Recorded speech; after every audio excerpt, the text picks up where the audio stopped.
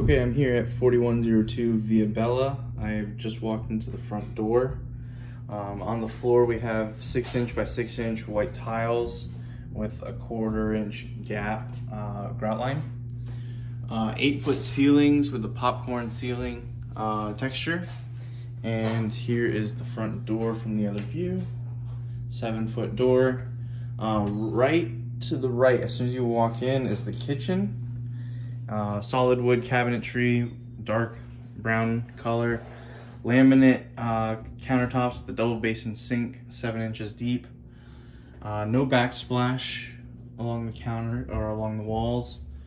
And um, a breakfast bar just past the stove and microwave. Looks plenty of room for four stools or so uh, if you wanted.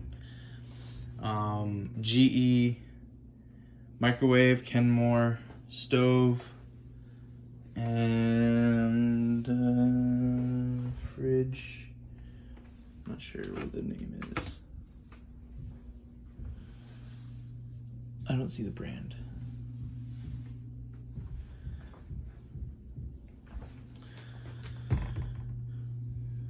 Solid wood, hard to see if there's any standing underneath.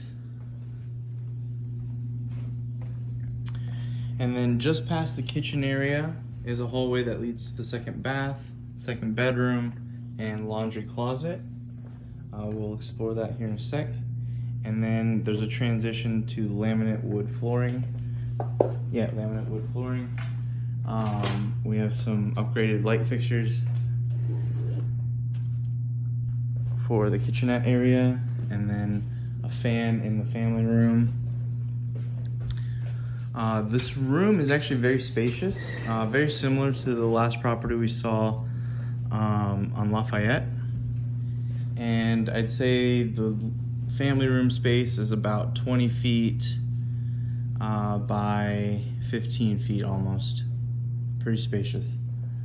Um, she just opened the door for me, so I'm gonna go right out here. The back patio has uh, the stone type flooring. It's like a pebble flooring. Um, it's pretty wide. It's about 15 feet wide. Uh, actually, a little bit more than that. Almost 18 feet. Oh, very nice.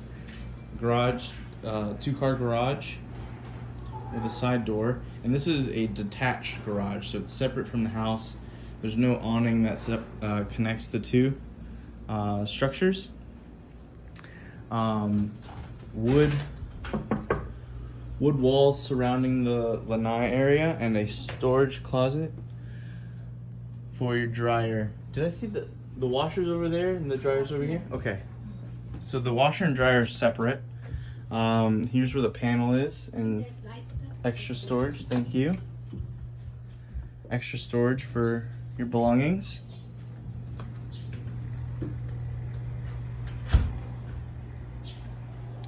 Little drywall damage along the seam here. Um, looks like a, possibly a light that was removed um, or maybe just some patching because I see this is sagging a little bit there. Second patch job.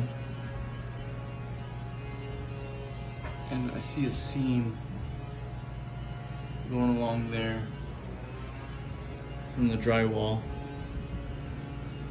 Um, the back wall of the lanai has this black paneling and then the um, screen slides up and down. I don't want to mess with it too much, but it does slide up and down. It looks like there's supposed to be a couple of tracks worth of this window, but I'm only seeing one one panel out of what I believe is three or four panels to make up the window. So I think it's missing a couple panels and what I mean by that is you can see how there are a couple tracks in the, uh, the framing and then there's only one window um, in the track and they're all pushed to the top position.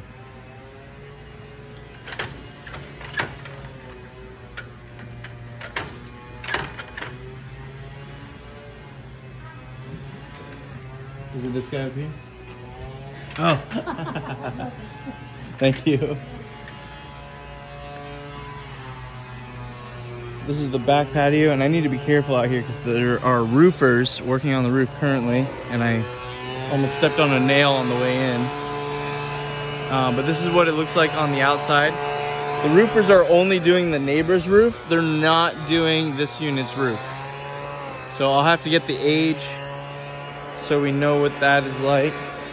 Um, a sidewalk and a little patio space connecting the driveway and the two car garage. Here's a view down the driveway. And a fence surrounding the property.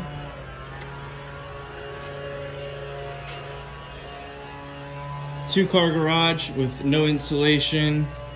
Um, cylinder block, cinder block um, exterior with wood framing for the roof, of course.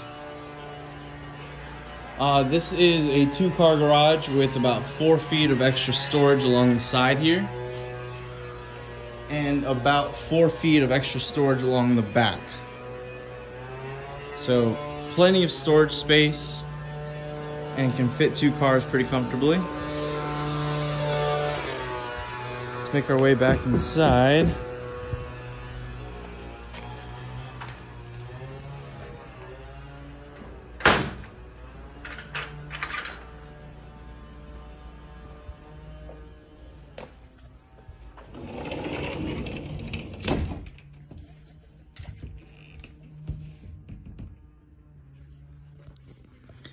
And then towards the back of the home is the master bedroom.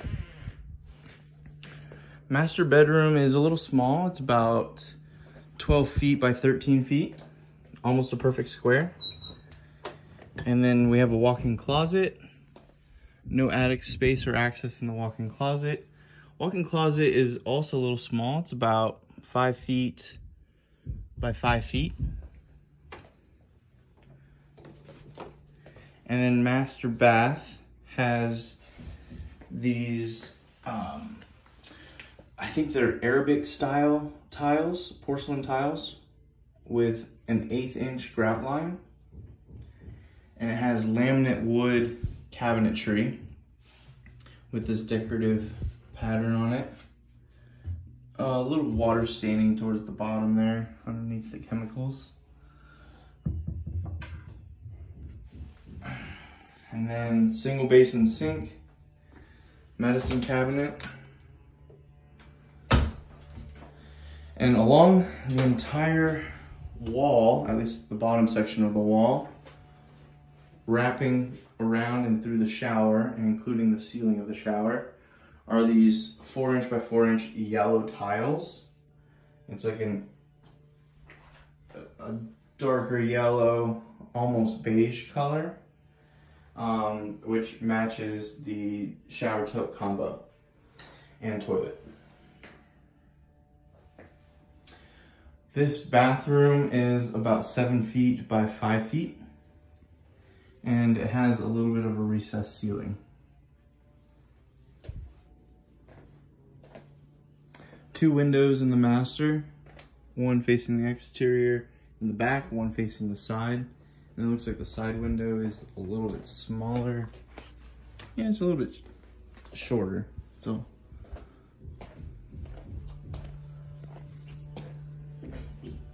making our way towards bedroom number two, the washer and second bathroom. So to the right in the hallway, here's the light. To the right is the uh, washer and closet space and it looks like you have a hookup for power. Okay, so for a different style washer, if you had that type of connection. Um, it also has Edison three prong down below, and then your water lines down below. It does not have the hookup. Oh, I spoke too soon. It does. So we, you could do stackable in here and then vent straight up. The attic space is in the hallway here and looks like a little bit of water damage right there along the edge of the panel. There it is. And bathroom number two, uh, almost the same size as the master bath, maybe just a little bit smaller. Um, this one has tile wrapping around as well, four inch by four inch square tiles that are an off-white. Same cabinetry as the master bath, laminate wood. And let's see the shower. So nice walk-in shower. Um, it's about seven feet tall or so. Has a window and a shower curtain to hold it up. There's a little bit of cracked tiling along the edge here. No other real serious tile issues, just a little bit of grout lines that need to be redone here and there. A little bit of damage at the corner and the drywall there. And along the seam of the top.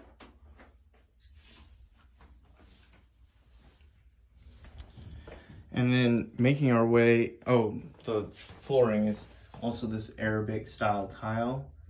And this is an off-white, um, it's a different color than the master bath. Uh, it's an off-white, very similar to the wall, but there is a difference, slight difference in color. The wood flooring is also in bedroom number two. Bedroom number two is a rectangle. This is about 11 feet by 9 feet. And it has a tall window over here that faces the front of the property. And then a regular size window. Oh, very similar to the master. It's a short window uh, facing the side of the property. The closet space is behind me.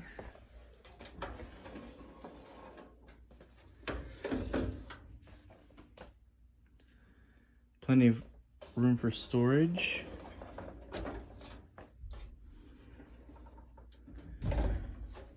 And the closet doors actually are very smooth on that track. Knowing how old they are, I'm genuinely surprised how smooth they are.